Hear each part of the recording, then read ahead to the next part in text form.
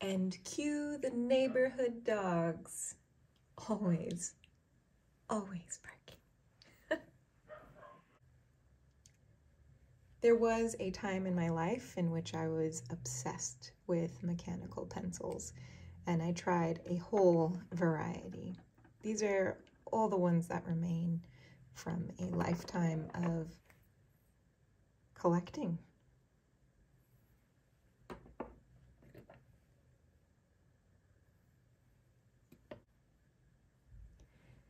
When I was studying the cello more actively, which by the way, I have been practicing daily again and playing duets with my friend. Anyways, when I was studying music more actively and going to orchestra and having lessons, I really enjoyed these pencils for marking musical scores. Soft lead, easy to erase, didn't leave a big impression on the paper.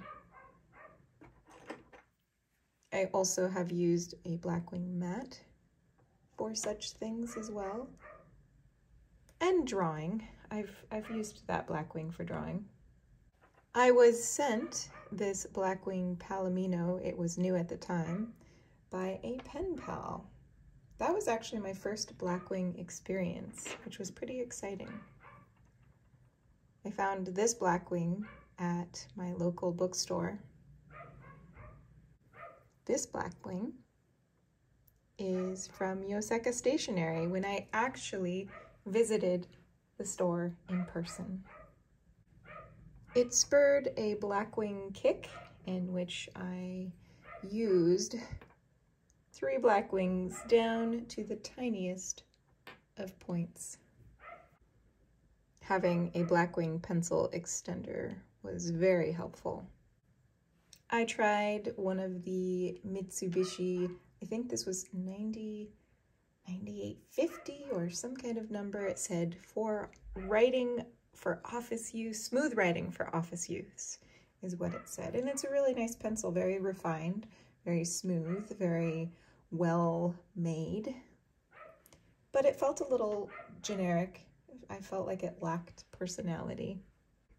At some point years ago, I bought this Leuchtturm pencil as I am such a huge fan of Leuchtturm notebooks. That pencil is horrible. I hate it. It's so grainy and gritty and it feels like there's chunks of sand in the graphite. It's just very unpleasant.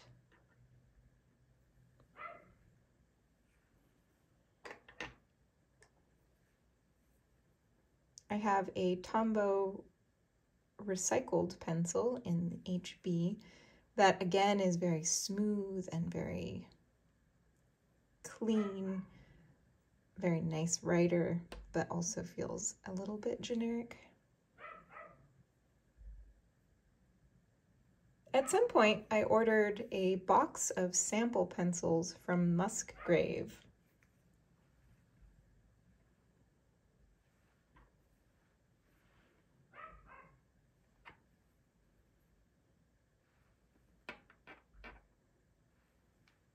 I forget that one. I think it was called, oh, it's Unigraph uh, in the F graphite. Also Musgrave. These are all Musgraves. What I ended up enjoying the most is this Tennessee Red Cedar. I have written two of those down to the little stubs and I'm working on a third one at the moment.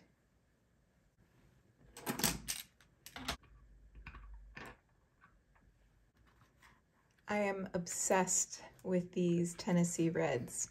They smell so good as they are cedar. It's just a delightful scent.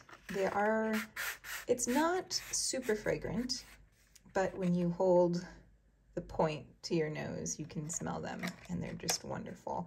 Now these pencils are a little bit raw, a little bit rough. They have a very angular cut that is not quite as refined and smooth and finished as some of the other pencils that I showed you. They also sometimes have strange knots that you have to get through.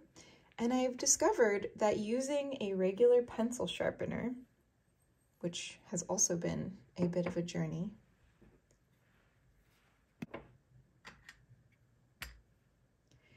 did not work very well because there would often be chunks in which I could not break through when sharpening and also parts of the lead would just break up and fall out. So I've discovered that the best way to sharpen these pencils has been with an Opinel knife or some sort of knife. I have here a very tiny Opinel. I believe this is number five, which is much smaller than their more traditional number eight or more common number eight. The thing that I love so much about sharpening a pencil with a knife, not only is it just really satisfying, it feels so good. And as someone who has always enjoyed whittling just for fun, never really creating anything in particular, just because the action of cutting wood with a knife feels so good, uh, this just really checks all of the boxes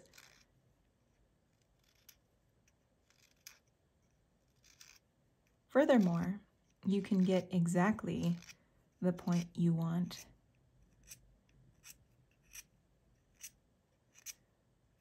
Whatever shape you desire, how fine you want your line.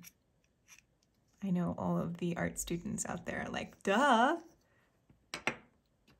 But I'm only just discovering that.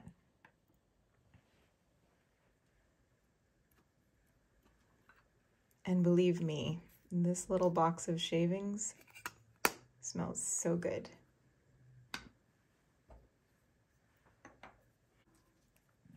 Erasers, of course, have come and gone throughout the years.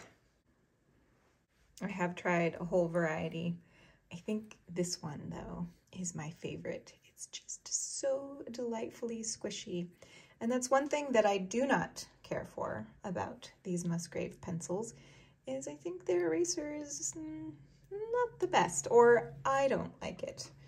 Maybe it is a good eraser. It just doesn't suit my needs. I like a squishier, softer erasing experience.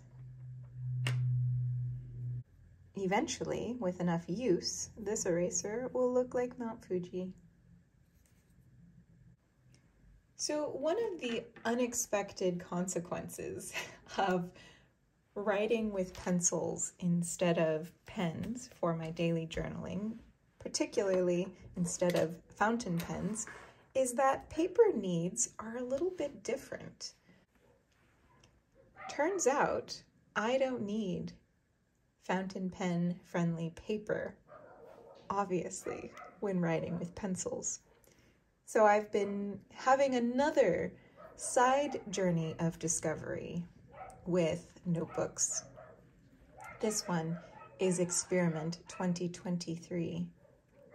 And oh my goodness, staying calm and peaceful while those darn neighborhood dogs are barking their heads off is a good exercise of practicing patience because trust me, I really want to yell at them. It's so annoying.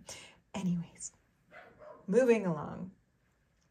I am writing in a Rite in the Rain notebook, which is kind of fun.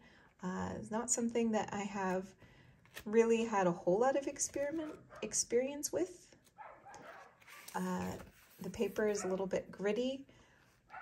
It is not good when it comes to erasing. It's just absolutely horrible. So really, I don't know, is there a point to erasing if you really can't on this pen? But as you can see, it's not super ideal for fountain pens, but you can write really well with a ballpoint or roller ball or gel pen and of course pencil.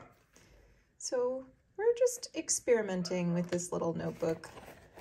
It's been fun being able to turn the whole book back like that and just have this one writing surface. On Instagram, someone asked to see me write with a tiny pencil.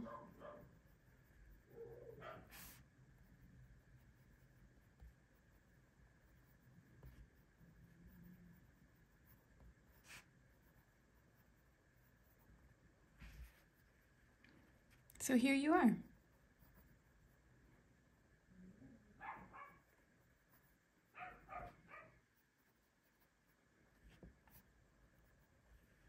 Thank you everyone for watching and joining me on this little pencil discovery adventure.